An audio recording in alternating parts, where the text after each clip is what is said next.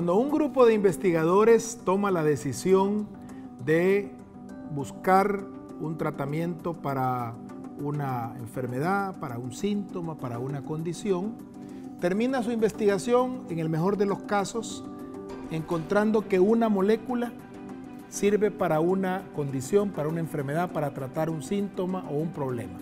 Esa asociación entre la molécula y el, el tratamiento o la condición, eso es precisamente lo que se conoce como un medicamento innovador.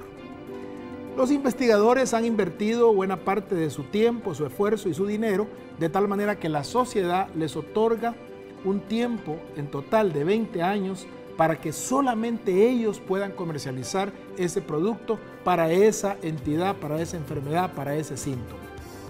Cuando termine ese tiempo de 20 años, esa molécula puede ser producida por otras eh, fábricas, por otros laboratorios, eh, por otros agentes, que eh, van a reproducir la producción de estos medicamentos.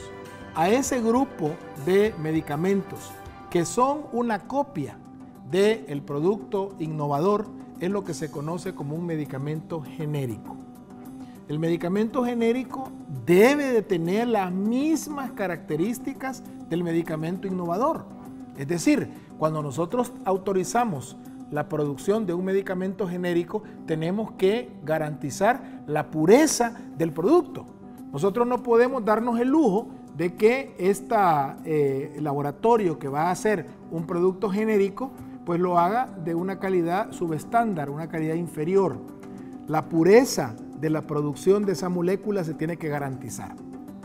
Obviamente los costos en los cuales incurre el que produce un medicamento genérico no incluyen el costo de investigación.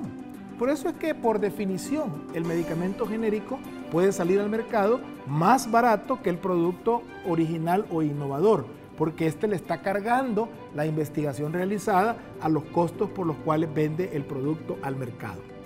En el mundo entero, los productos genéricos entonces han sustituido en los países desarrollados a los productos originales o innovadores. ¿Por qué? Por el precio.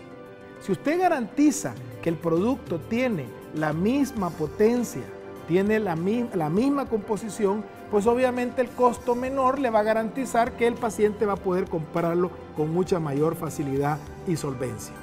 Sin embargo, en algunos lugares, sobre todo en países eh, que no son desarrollados, eh, nosotros tenemos eh, la opinión que se ha generalizado de que los medicamentos genéricos son de inferior calidad.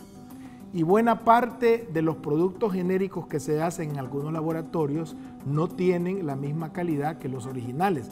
Pero este no, es un problema per se, porque es genérico.